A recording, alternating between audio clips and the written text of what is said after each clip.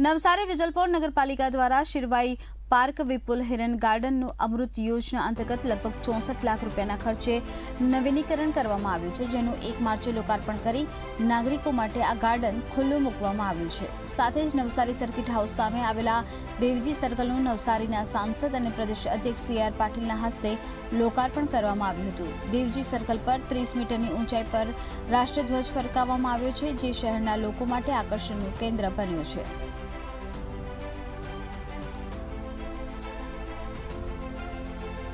Garden અને વિપુલ Hiren park જે જૂનું અને જર્જિત હાલતમાં હતું, એના નવીનીકરણનો એક પ્રોજેક્ટ આપણે મૂકેલો હતો. લગભગ લગભગ ચોસઠ લાખના ખર્ચે આપણે આ ગાર્ડનનું નવીનીકરણ કર્યું છે. આની સાથે બીજા વીસ લાખના ખર્ચે આપણે જુબીલી બાગનું પણ નવીનીકરણ કરવા જઈ રહ્યા છે, જે લગભગ આવતા મહિનામાં આપણે એનું પણ લોકાર્પણ કરવાના છે.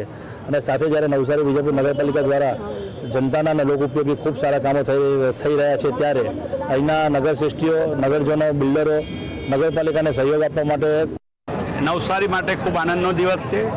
મારી બાજુમાં ગાર્ડન કમિટીના ચેરમેન મિનલબેન દેસાઈ પણ ઊભા છે. એ નગરપાલિકા અને વિજલપુર નગરપાલિકાના સ્ટાફનો અથાગ પ્રયત્ન અને મારી સાથે જે બહેનો બધા ઊભા છે, એમાં ઘણા ચેરમેનો છે અને આ નવસારી વિજલપુર નગરપાલિકાના કોર્પોરેટર સીઓ પણ છે.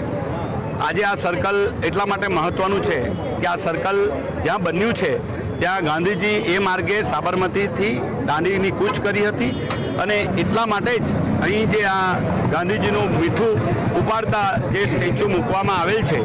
અમૃત યોજના હેઠળ જે સિરવાઈ ગાર્ડનનું ઉદ્ઘાટન આપણા સી આર પાટીલ સાહેબના હસ્તે થયું અને સિરવાઈ બીજા અમારા માનવવંતા મહેમાનો આપણા જિગીશભાઈ શાહ, નગરપાલિકા પ્રમુખ, ઉપપ્રમુખ શ્રી જાગૃતિબેન દેસાઈ એવા ઘણા એવા આગેવાનો આજે અમારી સાથે જોડાયા હતા.